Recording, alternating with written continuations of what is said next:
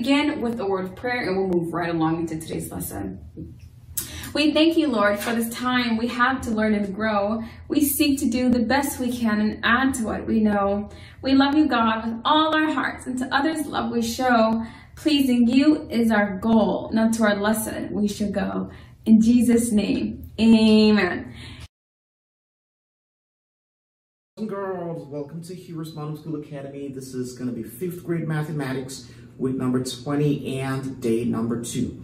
All right, so today we're going to be talking about how to determine exchange rates using graphs. Graphs. Uh, so there are going to be times that you are given a graph like this, and they're going to tell you what is the worth of this money in another currency. So for example, the graph I'm showing on the board right now is a graph that computes the worth of the Chinese yuan currency to the United States dollars. Okay, so you're going to see the United States United States dollars on the horizontal axis or the x-axis. That's what they call the horizontal axis over here. And then the Chinese currency, which is yuan, on the y-axis. So some people are going ahead and do the dirty job for you. So they're going to say, use this graph over there to estimate how much a money, an amount of money is going to be worth by just using this graph like that. So they're going to ask us, for example, what is $300 in terms of the Chinese currency yuan? Well, so you're going to go over there to $300 on the horizontal axis. This is where $300 is located. Then you're going to go ahead and trace to this line chart. This is a line chart. So the line chart meets up here somewhere, and you're going to trace that over here to the left side of it. So it's going to be approximately equivalent to 2,000 yuans. That's how you do it. And if you run your numbers based on the table that we shared yesterday, you're going to see that the answer is really close to 2,000 yuans just for you like that. All right, what about $250? Well, $250 is going to be midway point between, between $200 and $300. Then you go ahead and you draw vertical line up to meets the line chart and you're going to meet, meet the line over there. Then you go ahead and you trace it back over there to the vertical axis.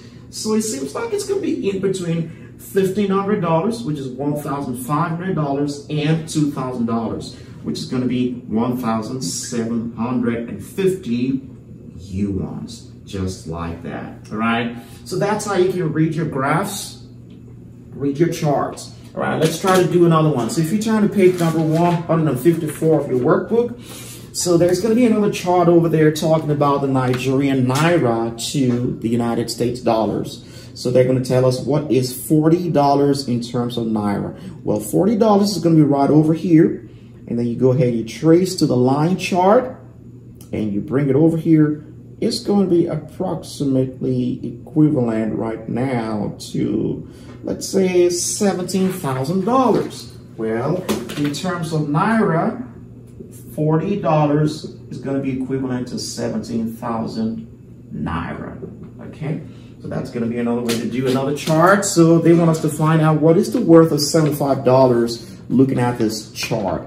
Um, looking at this chart right now, you're going to see $75 right in between 60 and 80 a little bit close to $80 over there you move it over there it's going to be approximately equivalent to let's say $30,000 okay $30,000 all right so that's what it's going to be for you over there uh, so $75, $75 is going to be approximately equivalent to 30,000 naira okay 30,000 naira all right. So that's how to read charts. It's really simple, really easy. Identify where the number is on the horizontal x-axis. Trace it upward to meet the line chart and then trace it to the vertical axis and that's going to be your answer just like that. All right.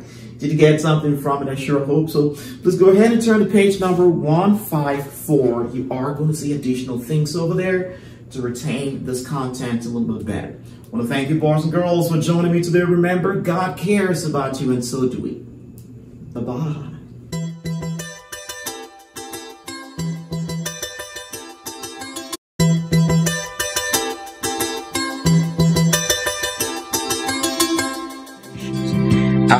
Your hero's buddy. And as you study with heroes, born, I will be your friend. So don't you